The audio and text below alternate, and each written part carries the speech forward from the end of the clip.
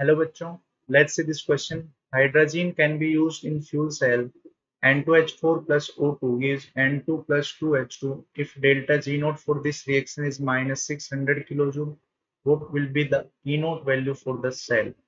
so so, बच्चों यहाँ पे अगर हम इस क्वेश्चन में की कॉन्सेप्ट की बात करें यहाँ जो की कॉन्सेप्ट यूज़ हुआ है वो है N2H4 प्लस O2 की रिएक्शन में अगर हम इसका N फैक्टर निकालें तो यहाँ नाइट्रोजन के ऑप्शन स्टेट अगर आप चेक करो two X plus four equal to zero X equal to minus two and यहाँ नाइट्रोजन के ऑप्शन स्टेट है ज़ीरो ठीक है? तो ये चेंज आएगा नाइट्रोजन के number of atom two minus two minus zero ये हो गया बच्चों फोर तो यहाँ से एन की वैल्यू आ गई four so delta G not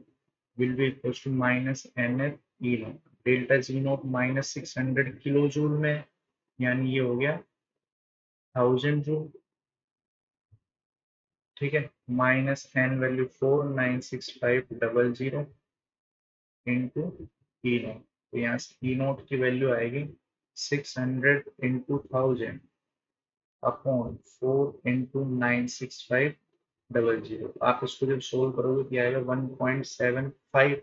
one point five seven volt answer will be option three I hope you understand it very well. Thank you. All the best.